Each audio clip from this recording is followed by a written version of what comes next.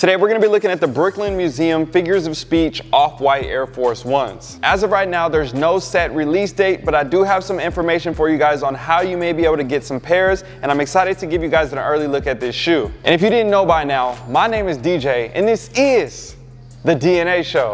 On this channel, I love talking about sneakers and especially giving you guys in-depth early reviews like this. And if you can't tell from the background, we're currently at Untied out here in LA. They got some early pairs available and I wanted to make sure that I gave you guys a nice in-depth look at this sneaker because I know it may look like it's just simple and an all green shoe, but there's definitely a lot of cool details. So with all that being said, before we show too much of the shoe, we gotta talk about the history first. We saw the first iteration of this in the Nike Air Force One from the original 10 pack that we saw back in 2017. Shortly after that, we then saw the all-white leather version that dropped at ComplexCon, and at that time, the shoe was worth a little bit of money, but nowhere near what it's worth today. Following those two releases, we then had the black pair that came out at the MoMA. It was really hard to get, but again, not a crazy, crazy demand, and the prices weren't as astronomical as they are today. A couple years later, we then saw more and more collaborations coming from Virgil with Off-White and Jordan Brand and Nike, which then caused more demand behind all of his sneakers, slowly increasing the value. We then saw the blue MCA Air Force One, which I still need to get these in my collection because these things are crazy. And just when we thought we were done with the Off-White Air Force Ones in 2019, we then saw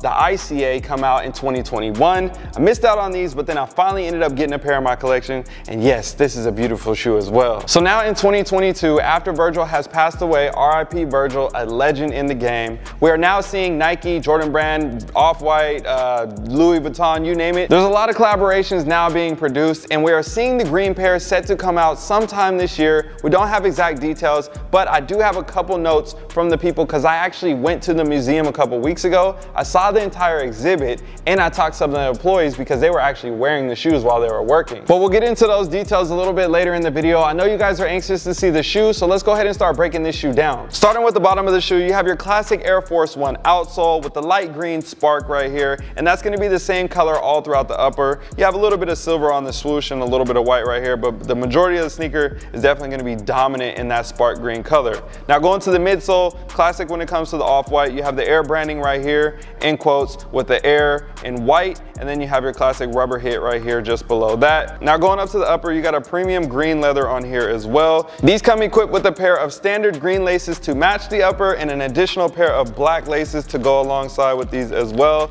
And on the end of the laces, you have shoelace in white on the green laces, and then you have shoelace in green on the black lace. Now when it comes to the Off-White Air Force One, one of my favorite hits on these in particular is the swoosh. You kind of got that tinfoil vibe right here with the zigzag Frankenstein stitch in black all around that. And then you got a lime green tab right here, classic to the Off-White. Now going to the back end, same thing right here. They did the overlay over the Nike Air branding on the back end on the heel, and then you got your exposed foam around the ankle on the sock liner. All green on the inside of the sock liner. And then you have your off-white branding on the inside of the heels right here, one with the face, one with the hands. Another thing we can't forget to mention as well, on here you have a green mesh tongue with the exposed foam on the top end around that, and then you have a hole through the center of it. And then another iconic hit that we see all the time when it comes to the Air Force Ones, you got your Nike Nike Air branding with the off-white right here and the ripstop-like material and the white with the green text on here. Another iconic hit when it comes to off-white and collaborations with Nike and Jordan brand is going to be that branding on the inside of the foot. You got your off-white with the Beaverton Oregon in the 1982 on both sides of the feet right here. Definitely something that we see often when it comes to these two and something that we always love to see. Personally, I love the simple touches and I know they're kind of getting repetitive and they're just switching out the colors. But in my opinion, I think they could do the entire rainbow rainbow and do a red version, a purple version, a yellow version, all the different colors and have it look super dope with the whole set of Air Force Ones from the Off-White collection. That's just how I feel. You know what I'm saying? I'm from Portland, Oregon, so I mean, City of Roses. We could if, imagine an all red version like this with the silver swoosh on it and the white text on the side. You know what I'm saying? We got a museum too. I mean, Nike is the headquarters there. I mean, it only makes sense, right? And last but not least, when it comes to signature branding as well, you have your classic off-white zip tie right here with that kind of velvet material on the top end around the tab. Now, based off of these pictures right here, as you can see, there are definitely a lot of similarities when it comes to these three sneakers, just switching up the base color of the shoe. And I definitely like that aspect. Obviously, you got the different lace color options when it comes to the white standard color on the blue pair. But besides that, the shoes definitely look very, very similar. But one thing that is very different when it comes to this one is we have a different box. What we've seen in the past when it comes to the Off-White Air Force Ones and the box and the packaging, we typically get the premium sleeve Air Force One box on those. But this one right here is actually more similar to the silver box with the holes in it like we saw on the first set of three Off-White Dunks that came out before the 50 pack dropped. So in a sense, yes, this is a switch up, but this is something that we also have seen in the past before. And I'm not mad at it because it's always dope seeing these shiny boxes sitting in the collection. So now that you guys seen some in-depths of the sneaker, let's talk about resale value. How hard is it gonna be? Where are we gonna get the shoe at? And comparing this shoe against the other ones and what people think if it's fire or trash. So typically when it comes to that, I always like to post a poll on my story to see how everybody else thinks about the shoes. So if you haven't already, make sure you follow me on IG so you can participate in the polls and see all the results here on my channel. Basically, I asked the people the simple question, is this shoe fire or is this shoe trash? This is what they said. 79% of the people chose fire and 21% of the people chose trash, and I completely understand it. It is an all green shoe. Now, I am a Ducks fan, so that is probably another reason why I might like the shoe a little bit more, but I definitely get it. Not everybody just wants to wear a light spark green shoe like this just around out in the public, especially with the silver swoosh and all that stuff. It may just be too much for some people, completely get it. But for me, you know, I think the shoe is really dope and definitely it's a fire or a cop or whatever you want to call it and something I look forward to adding to my collection someday. And I'm definitely interested to see how you guys feel as well. So make sure you guys are dropping comments down below as we go throughout this video. Now the next question I ask the people is which one do you guys like more? Do you like the blue pair, the yellow pair, or the green pair? And this is what they said when it comes to the results. You guys might be shocked, but maybe not. I don't know. Let's just show the results. 63% of the people chose the blue pair, 16% of the people chose the yellow pair, and 21% of the people chose the green pair. So as of right now, the green pair is ranking just a little bit higher than the yellow pair, but nowhere near the blue pair, and it looks like that's everybody's favorite as of now. I'm interested to see because we also have rumors of a gray pair coming out in Paris and some other stuff that might be dropping later, which we shall see if anybody knows. But besides that, it's definitely a, a, landslide when it comes to the blue pair. I was expecting to see, you know, maybe something around 30 and 40% and stuff a little bit closer to each other, but that's just honestly not even a fair fight. So now when it comes to pricing, this is also something that is very interesting to check out as well. When it comes to the green pair in particular, now I'm a size 13, so take that as well with a grain of salt, do your own research, all the other things, prices are gonna vary depending on size. But basically for a size 13, that shoe is gonna go somewhere around $3,500 to $3,000, depending on who you're buying it for, when you're buying it, and all those different things. But that's as of right now before the shoe has actually come out, which again, we'll talk about the drop in a second, but that's pretty high. Now when it comes to the yellow pair, these are gonna be hitting for somewhere around 1500 bucks in a size 13.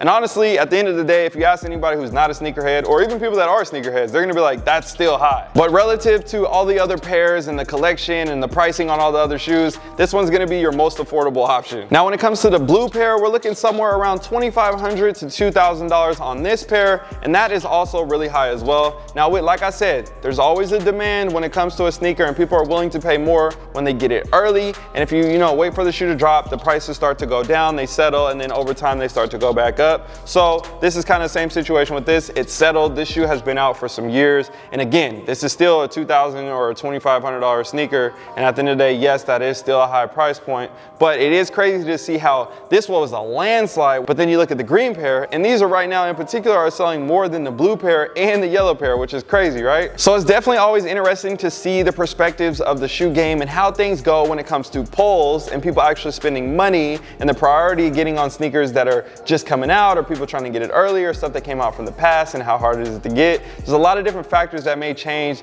the opinions and the values of sneakers. So that's always something to take into a perspective because I feel like this is a great example. These are literally the three same shoes, yet just different colors and probably similar quantities when it comes to the releases as well, but the prices vary so much. And then I'm interested to see where the green pair falls, you know, a year or two years from now. If it does go under that, you know, maybe $1,800 or is it gonna go down to 1,200 or $1,500 or is it gonna stay at that $2,000, $2,500 or even go, you know, $3,000, $4,000? We shall see in time. I don't know. Let me know what you guys think down below in the comment section. So now when it comes to the actual release of this sneaker, I was at the museum, like I said earlier. I was there a couple weeks ago and I spoke to the employees that were working there. The people that we saw that were wearing the shoes on the site, those were the security guards and the staff that worked for the museum. They were all under contract. Now, the museum is going to be open for the figures of speech from, I think it was July until January, sometime around there. You can look up the exact dates, but basically it's pretty much open for around a six month window. And then from there, they're saying that they're supposed to be released this month and we've been hearing things about us getting pushed back and all these other things. I talked to the lady, she told me that they had 200 pairs at the museum, but typically when you do the SNKRS app drop, like you have to be at the location and then you hit on the app and then they ship the shoes to your house. And typically it's from another warehouse in a different location, not even actually where that museum is. But I heard that they were dropping 200 pairs at the museum. So there might be a SNKRS app type thing that goes from a separate warehouse, and then you have pairs that go actually at the museum, and then other pairs that go to different stores and different things like that when it comes to the other retailers that may get the shoes throughout the nation or different places in the world. So there's a lot of different things that are kind of in that gray area up in the air, but one thing that I can guarantee is the Brooklyn Museum is going to be a place to be over, hopefully, you know, you can get lucky and be there at the right time, or if you know somebody that's gonna tell you the exact drop date or whatever's going on,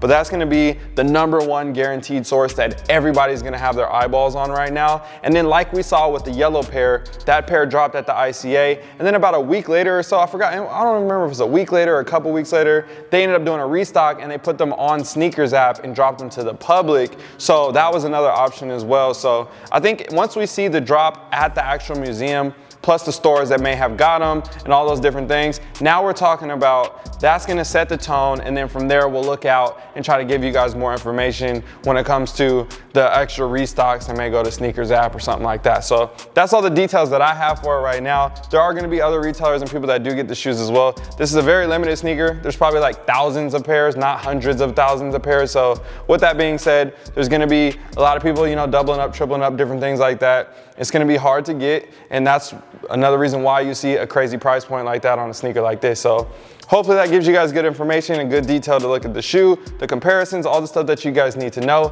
And again, if you are ever in LA, make sure you guys stop by Untied. They always got the heat, they always got the bangers. Every time I get to come through here, they always got something dope for me to review for you guys. Appreciate you as always. And use the discount code DNA Show. That'll get you guys free shipping on all your orders from the Untied website. I have all their links and everything linked down below in the description. All right, y'all, I'm out.